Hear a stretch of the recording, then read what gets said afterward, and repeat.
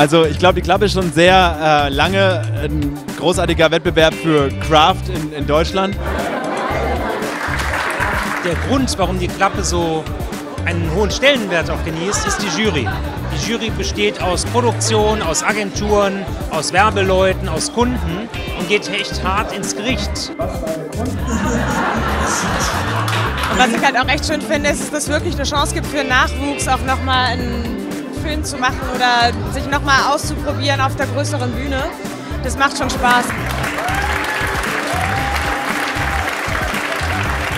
Ja, wir freuen uns natürlich über die Auszeichnung. Es ist einfach immer schön, Gold zu gewinnen. Wir kamen halt hier in den Saal und haben so gute Produktionen gesehen. Und ja, ich dachte eigentlich nicht, dass, dass es da noch Platz hat für, für unsere Idee oder unseren Film halt. Wenn man dann Gold gewinnt, das ist wie wow. Kommt in der Kommunikation durch, wenn man einen Unterschied macht. Man nimmt die Leute mit, wenn man ehrlich ist, authentisch ist und eben auch ein bisschen aneckt. Und äh, das wünsche ich mir von den Arbeiten in der Zukunft. Und die Klappe wird immer den Scheinwerfer genau darauf richten, diese Arbeiten zu finden.